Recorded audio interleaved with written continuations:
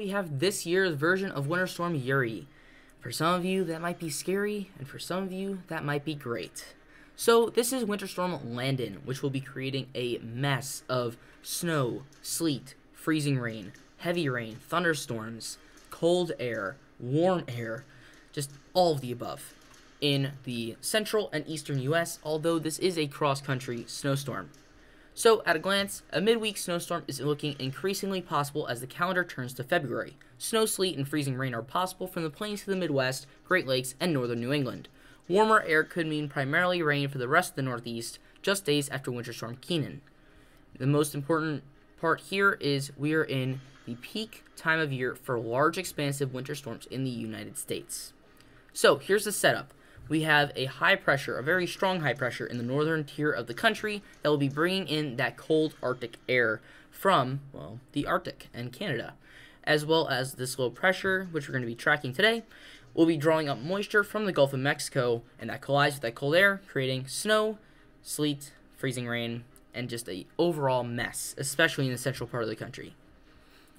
So, Tuesday night into Wednesday, we kind of see the beginning part of the storm where we have light snow, light sleet, maybe a little bit of freezing rain, some rain as well in parts of the central US. But as we move into Thursday, the stronger side of the storm does take shape, and that's when we get into our heavier snow, heavier sleet, very heavy freezing rain, some thunderstorms, and just heavy soaking rain overall. So, in terms of snowfall, this is the Weather Channel's image here which shows 5 to 8 inches in parts of Texas, but overall 5 plus inches from areas le- west of Dallas, but south of Amarillo to Maine. So, let's start off here with the NAM 12 kilometer model, and we can see here that we have a low pressure in the very southern parts of Canada, and that will be bringing in some cold air behind it as well as setting up this high pressure here, already at 1032 millibars, which is extremely strong for a high pressure right off the bat. Then we see that storm kind of weaken out and mature, but we have a new low pressure here in the south, which will start to bring in some Gulf moisture. It will be pulling up that Gulf moisture, and we see those two air masses collide, and we start to see some snow in parts of the Rockies as well as in parts of the Midwest. Now, that Snow continues to develop here. Some areas could see moderate snow, but mostly light snow. And then that more moderate snow does start to filter in, as well as maybe a little bit of freezing rain in parts of Missouri and Illinois, but mostly snow and rain at this point before the second part of the system start, starts to take shape. We haven't really loaded all that in here on the NAM. We have loaded it all in on the European model, which shows a very similar setup. At least all of the models have shown this setup here kind of staying constant. But the second part of this storm, uh, the European model is showing intense rainfall, some moderate to heavy ice, but mostly light snow here. This is Wednesday night going into Thursday. But that snow, freezing rain does strengthen as this system continues to develop and it's still in its immature phase, therefore, things could be a little bit more unstable. Uh, so we could get some very heavy snowfall in parts of Oklahoma, Kansas, Missouri, Arkansas, heavy freezing rain in Oklahoma and Arkansas, as well as some thunderstorms starting to develop in Texas, Arkansas as well. So we continue to progress and we get a line of thunderstorms from Tennessee all the way down, including areas of western Mississippi, eastern Arkansas, uh, central Louisiana, and southeast Texas. We have heavy freezing rain in Missouri and Arkansas, but mostly light to moderate rain for, not rain, snow. Uh, but we also have light to moderate rain out east as well. Just the northern and eastern parts of this storm are not going to be very strong at the start of this development, but they will become more intense as this storm continues to progress. So you could see areas like Cleveland getting into that moderate to heavy snowfall, as well as areas such as Columbus and Cleveland getting into heavy freezing rain. But as we move into the northeast, we do see this storm get a little bit stronger with some heavy snowfall in parts of northern and western New York, as well as the northern tier of New England, with some freezing rain stretching all the way back into Kentucky at this point, with this storm finally leaving the coast and could see a little bit of rain, snow, freezing rain mix along the I 95 corridor, which could create a mess with some melting snow as well as some more ice, sleet, snow on top of that melting snow. So, let's move on to the GFS, which is very similar to the European model, but not exactly the same. The main difference between the European model and the GFS is that the GFS has the second part of the storm, one bringing air further south with a 1050 millibar high pressure, so we could see moderate to heavy snow in Texas, as well as heavy freezing rain in Texas and Arkansas as well, and then moving up into the Ohio River Valley and the Great Lakes regions with heavy snow, sleet, freezing rain, some thunderstorms as well. So just overall a more intense system as it continues to move on, as well as the GFS is showing a little bit of snow on the back end in the I-95 corridor as well. So basically we're just seeing a more complex system there that does have more components, more strength, more intensity. The Canadian model is kind of right in the middle, as it usually is, uh, with a low pressure that kind of stays in between the two, but a little bit further south, uh, but really not giving that snow to the I 95 corridor, but more uh, sleet and freezing rain to the I 95 corridor instead of that snow. In terms of snow and freezing rain totals, the NAM is showing a general 6 to 12 as part of that first part of the system. Remember, it hasn't loaded in the entirety of the event, so a very decent 6 to 12 out of that first and the beginning of the second part of this storm. And in terms of freezing rain, it has started to load in that heavier freezing rain amounts, maybe even an inch in some spots already. And this is just ending at Thursday at 1 a.m. Eastern, midnight Central. The European model is showing overall a very large swath of a foot of snow from just north of St. Louis through areas such as Indianapolis, Detroit, Cleveland, Buffalo, and into Maine, as well as, well, we can't look at that ice because I don't pay for Pivotal Weather Plus. But the GFS is showing a much stronger storm, as we stated before, with a foot of snow from Oklahoma all the way through Maine, and potentially even two feet of snow from St. Louis through into Buffalo. So that is definitely a potential for some very heavy snow there. As well as some very heavy freezing rain totals and widespread icing. But the biggest amounts, those largest amounts, are going to be in this band here from Oklahoma all the way up into New Hampshire, where areas could see one to two inches of ice. Now, if we do see that intense storm that the GFS is predicting, we could definitely see these amounts of ice especially in parts of Missouri and Arkansas, where you could see two rounds of ice, one with both parts, uh, both parts of the storm. Now, in terms of just the pure amount of people under some icing, we have most of the population centers in Texas, excluding Houston, maybe San Antonio as well, but definitely Dallas under the gun here.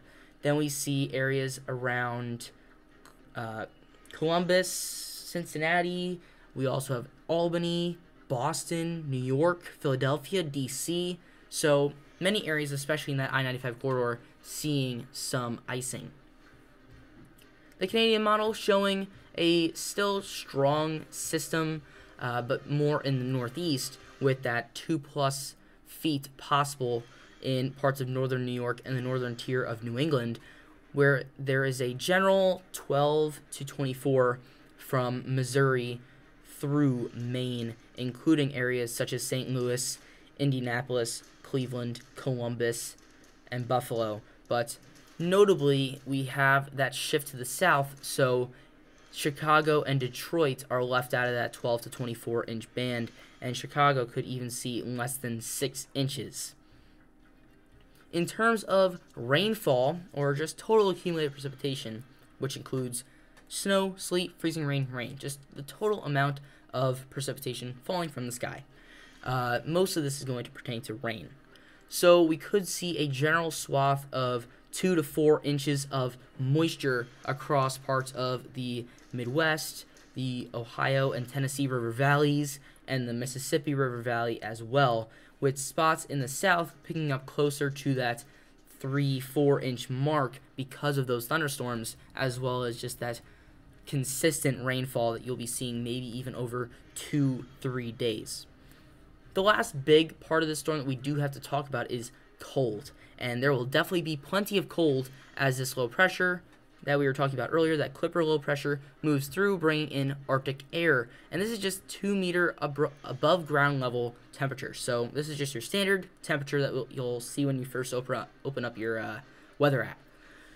Now, we could see some very cold temperatures as the storm moves through, like in Texas, where you could be below freezing for your normal highs and even down into the 20s and single digits in some spots as well as the storm continues to move through. Just a mass area of very cold air as this storm moves through.